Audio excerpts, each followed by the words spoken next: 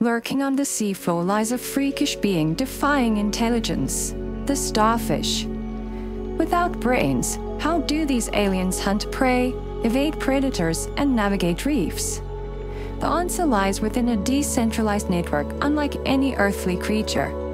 Spread across flowing arms, this bizarre biology grants starfish regenerative abilities no brained beast can match. Starfish, also known as sea stars, belong to the phylum Echinodermata, which includes other spinous marine animals like sea urchins and sea cucumbers.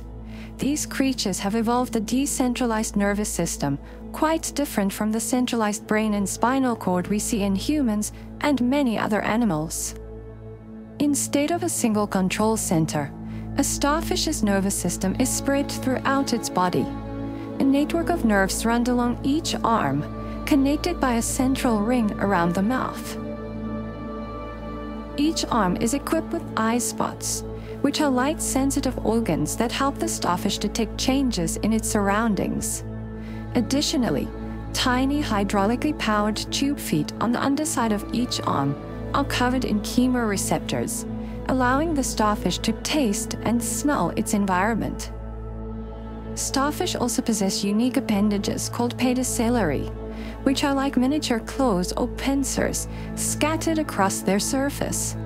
These pedicellariae serve various functions, such as keeping the starfish's surface clean, capturing small prey, and even defending against predators.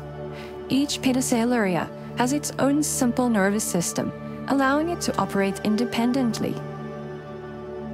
This decentralized system is remarkably efficient for the starfish's lifestyle.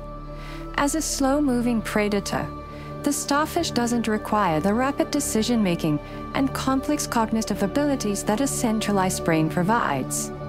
Its simple nervous system is more than adequate for finding food, avoiding predators, and navigating its habitat.